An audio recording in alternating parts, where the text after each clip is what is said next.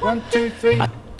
When you are drawing, many times it's so difficult to know which uh, strokes belong to a specific layer. So for this, we have uh, different options.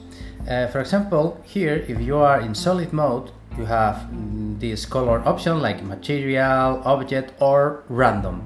With this option, apply a random object uh, per layer, so it's more easy to identify what happened with your, your strokes and layers. Uh, another interesting option here uh, is uh, X X-ray option. With this, you can see through uh, your grease pencil. So in this case, it's easy to identify what happened with your field work. In this case, uh, the field work was made with the bucket tool. Okay, so the the shape is is clear. And here, the field was made with a lot of laser work. So it's interesting to check what happened with your field.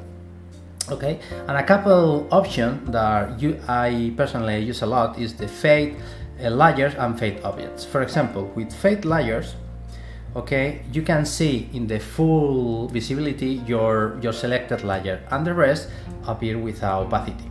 So it's, it's easy to check uh, what uh, what uh, strokes belong to this layer and when you are drawing you you you see that this is the current layer.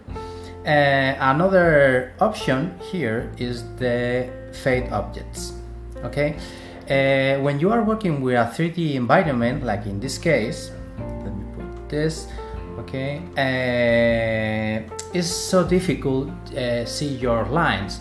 So for this, if you turn off this turn off this option here, you can fade the 3D environment effect to the another grease pencil or not okay? And now it's more easy uh, check your lines okay?